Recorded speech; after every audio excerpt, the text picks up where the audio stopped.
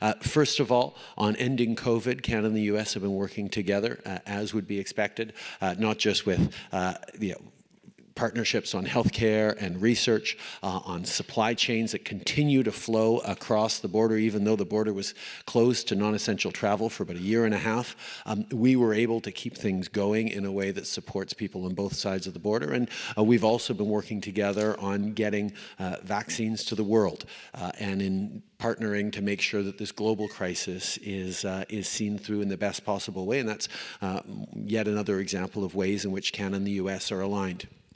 We've also uh, obviously working together on the rebuilding uh, post-COVID, and that means getting supply lines and supply chains back up uh, and running after having uh, paused our economies for, uh, for significant periods of time, after seeing significant disruptions uh, as we work to stand up for workers and create better prosperity and jobs as we recover from this pandemic and as we look to continue to defend our communities, our democracies, our principles, our values in a world that has been significantly disrupted. And uh, one of the things that continues to disrupt uh, is the advent of climate change. Uh, that's why I was so pleased to be uh, in Glasgow a few weeks ago um, put, positioning Canada uh, again as a significant leader in the fight against climate change. The U.S. leadership uh, over this past these past 10 months has been extraordinarily important for the world, but we all have to be stepping up. Canada has actually moved forward with putting a price on pollution,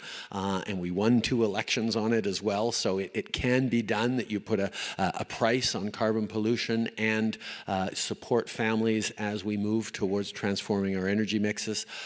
We've also uh, or we're putting a cap on our oil and gas industry and going to be reducing uh, the emissions there as well. These are the kinds of things that we need to do at home, but also with partners continentally, uh, but also around the world. And, and we're going to continue to keep working on this. Il y a beaucoup de grands enjeux sur lesquels on est en train de travailler, que ce soit la vaccination, que ce soit l'économie, que ce soit euh, la, la, lutte contre les changements climatiques. On va continuer de le faire en partenariat uh, because we do better things uh, when we're all working together together, and uh, that's what uh, that's what Canada-U.S. relations have been all about, and that's what we're going to continue to work on over the coming years.